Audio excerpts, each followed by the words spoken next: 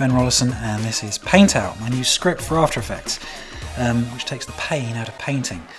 It really does as well. It really can make many a paint task that would otherwise be difficult and time consuming easy and quick. So, you know, sometimes tasks that might take you hours can be reduced to minutes or even seconds, um, depending on the kind of shot that you're working with. Now, before I launch into loads of detail and show you everything that PaintOut can do, and in case you missed that little example that was in the intro a couple of seconds ago, I'm going to just do an example to show you how quick this can be. I'm going to use this example here with uh, blue tracking marks on the cover of a book that's moving around nicely, being rotated, and plenty of movement, and just to show you how quickly we can do it. We've got the shot tracked. PaintOut works by bringing together the power of trackers and the power of paint strokes. So you track your shot first, and what I'm going to do is remove these as quickly as I can. So let's start the clock. First of all, we select our footage layer. Let's up the clone size a little bit. We'll choose a vector to define our rotation and we'll choose color adjust. Select those two and hit go. Let's select these two, change the old offset here to minus 40 and hit go once again. Stop the clock. That took under 20 seconds and we've removed those tracking markers from a whole 9 seconds of footage. Now you may say that's a pretty easy shot, and indeed you'd be right, there's not much crossing and stuff like that. And, you know, there is stuff here where it's not perfect, where those fingers cross the tracking mark at the beginning, um, that's not perfect. But PaintOut also gives you tools to deal with that. In this case, we might just remove that tracking mark there by adjusting the in point of the layer and touch up those few frames manually if we wanted to. It gives you other tools as well. There's loads. There's effects on these layers that allow you to control and animate those paint strokes. It really does give you an exceptional level of control and of visualization. So there you go. If you think Paint Out something for you, stay tuned. Let's launch into the detail. Now, as I mentioned before in that very quick demo there, PaintOut basically works by bringing together the power of paint strokes and trackers. So before you begin with PaintOut, you need to have tracked your shot. It doesn't actually matter what you use to track your shot, as long as you turn those trackers, whether they be 2D or 3D trackers, into nulls. And those nulls are what PaintOut uses to control the paint strokes. So that's exactly what I've got, and as you can see, um, there's quite a few trackers, over 20 I think, including the back of the book.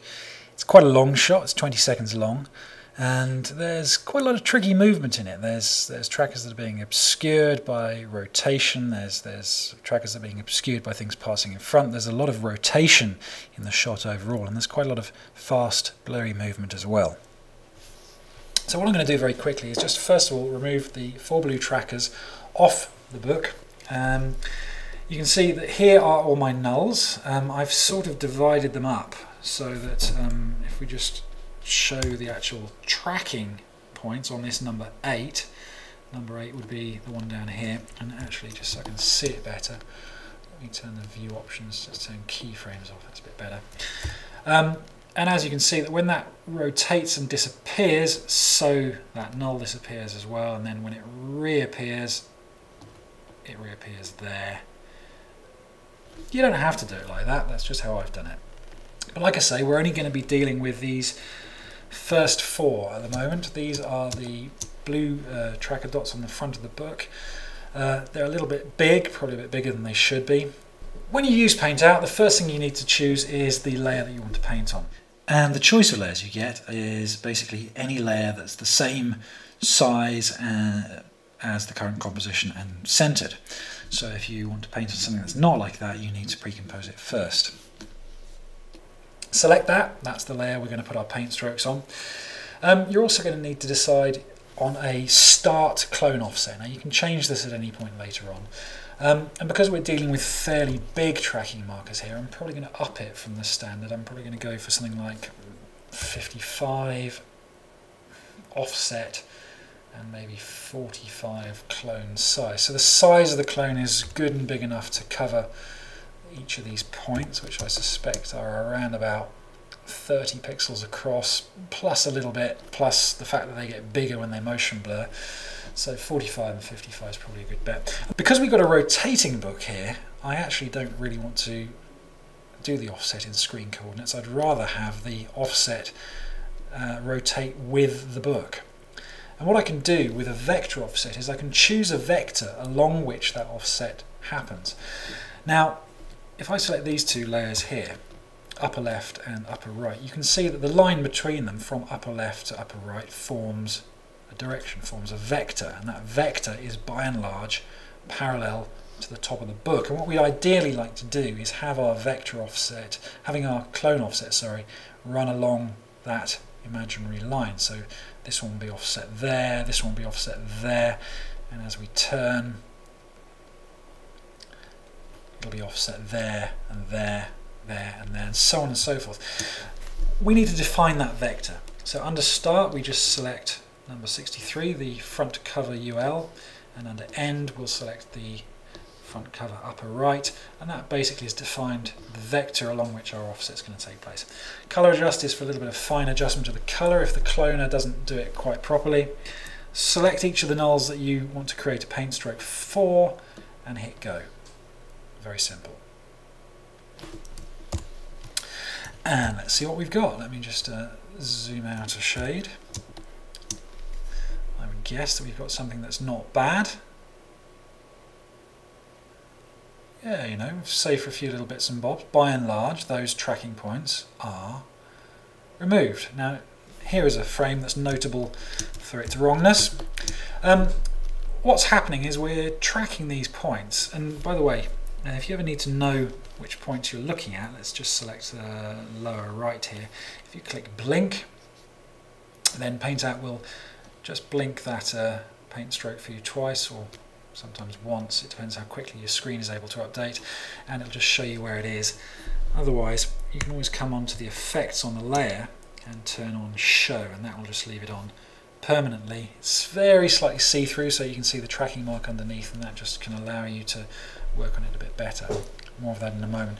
And as you can see, the, the, the basic sort of modus operandi of um, PaintOut is that you're now controlling the actual paint strokes from the null layers that they track. You've got 10 paint out effects on here and that controls everything that you need to control about the paint layer. Plus the fact you can turn them on and off by setting the in and out points of the layers themselves. Um, and that's really all you need to be able to do. And you can change the position of them by changing the position of the null layer itself. Now, here on this particular one, if I just pop show on again, we are sampling along the vector, remember, this vector, and we're going in this direction because the vector runs in this direction. We're sampling from there, and that means we're getting the edge of the book, which we don't want. So we have this flip control, and that basically flips the vector. Instead of going in that direction, we go in that direction. We go the exact opposite way, and if I flip that, that one will be fine. And obviously I'm going to need to do that to the upper right as well, so we'll just come to the same effect on there and flip. There we go.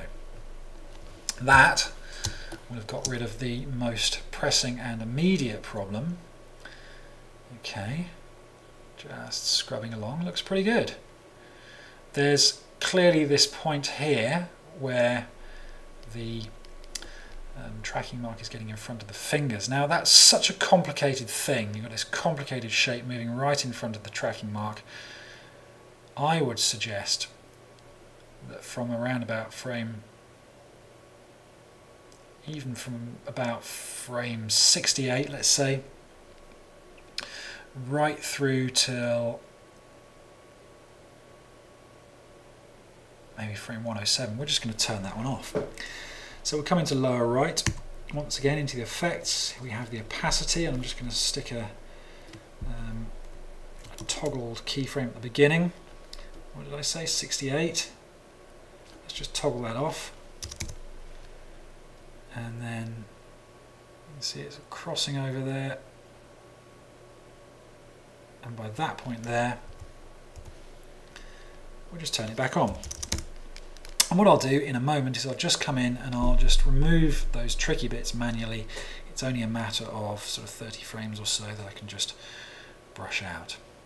Now, other problems. Here is a bit of a key moment, you can see that there's some very fast movement between, let's say, frame 55 and frame 77. Let's just zoom in on that for a second. Um, in that fast movement, the motion blur has made the tracking marks bigger. Bigger, they don't cover what they should cover. It's just about okay, but it's not really what I like to see. So what I'm going to do is I'm going to take this uh, upper right here, just look at the effects once again, and I'm going to say, well, by this point here, everything's good. And just on the diameter and on the roundness, I'm going to put a keyframe. But by the time we get to here, it's not really working. And by the time we get to here, it's really not working. So at that point, I'm just going to blow the diameter up a touch. I'm going to pop show on for a second and I'm just also going to adjust the roundness and the rotation at this point to just move in sync with that motion blur. So it's getting bigger and it's shaping to that motion blur. When it gets to this point,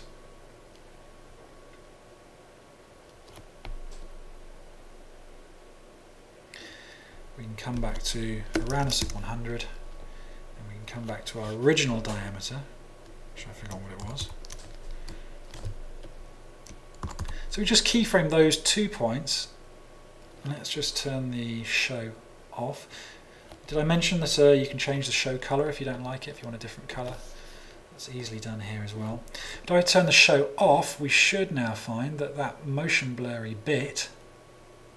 Oh, no, it's still a little bit on the large side. Side there, we just need to go up perhaps a shade higher. Tell you what, let's do it in there. Let's go up to 80 on the diameter. And that should just about do it. That's now covered our motion blur problem. Now we've got the same motion blur problem on the top left, so what I might do is just go to there, copy these diameter keyframes, come into the same effect on the upper left, and we'll just paste them on there, and we'll paste the roundness rotation ones in there as well. Easy peasy. And which was the other one? That's lower left. We would need to go into roundness rotation, paste that, diameter and hardness, and we'll paste that as well. And we should now find that that motion blur is gone for the whole thing. Now, funny little effect here, this clone mark is just a shade lighter than it should be. Um, there we can go into color adjust and we can just pull it down a fraction at that point just to make it a little darker. I suspect that a few frames before it was perfectly good where it was in the middle. But you notice you can just sort of change the color in any direction you like and you can you know, just tweak anything in any direction which is really very very handy. So we'll leave that there and once we come over there it's a bit darker you can see so we'll just up that back to 128 so in the middle I'll do 126 near enough it's a quick demo remember? It's got to be quick. Got to be quick. Now what else have we got going on here? We've got some funny bits here where uh, they go off the edge of the book. Tracking markers how very very rude. So once again I'm just going to turn um, show on like this and there I think I mean at that point it's pretty good. So we'll put a roundness rotation keyframe there and at this point I'm just going to slim it down a touch. Give it a different show color. Slim it down a touch and rotate it around a little bit. And that should stop it going off the edge. And it does. This one here is the same. That's the lower left. So just very quickly, we'll come in, put the show on, and we'll adjust the roundness and rotation at that point, just to make sure that it doesn't go off the edge. Is that covering? I think that's going to continue to cover it, isn't it? So I think we're actually good there. Once again, it's a little bit light at a certain point, so we could just do a very small colour adjustment at that point, just to bring it into line. That's good. You often find that with surfaces, they look as though they're very even in colour, but they're just very slightly more lit, a couple of pixels offset. You can see there as well that it's very slightly off, but I'll leave it for the moment just for the sake of speed. Now then, I think we're almost there. Um, that's pretty much as far as you'll probably get those tracking markers um, with the automatic stuff. There's a few little bits and bobs. There's this point with the crossing over, which needs to be done manually. And is there something at the end as well? Yeah, there's a little point there at the end. Now, it's completely um, compatible with the sort of manual stuff as well, of course it is. Let me just show you a couple of quick features and show the link between uh, the nulls here, the controller nulls, and the paint strokes themselves. If I select, say, the um, the lower right paint stroke here, this one here, or the, the null, should I say, and I come up to select paint strokes and I click that, it'll select all paint strokes, all paint out paint strokes associated with that null. So if I come back to the timeline and I press S twice, it will solo the selected effects and you can see indeed it's selected all the brushes for the lower right um, null that we had selected. Now that also works the other way around. If I select a lower right paint stroke and I hold down shift and press select nulls, it selects the null associated with the selected paint strokes. Let's just have a quick look at all of those paint out uh, paint strokes and let's choose one from upper left and one from lower right for instance. Shift and select nulls and it gets upper left and lower right. If I press select nulls without hitting shift it takes a little longer and it selects all nulls in the composition that have any paint strokes associated with them. So there you go. And finally, um, if you ever want to remove a paint stroke, on the upper right there for instance, you can just hit remove paint and it'll say you want to remove the effects off the null layer as well. We'll say yes. And there you can see it's gone and on that particular null layer all of the paint out effects are gone as well. But actually we'll keep that. Now I'm just going to slip into something a little bit more sped up.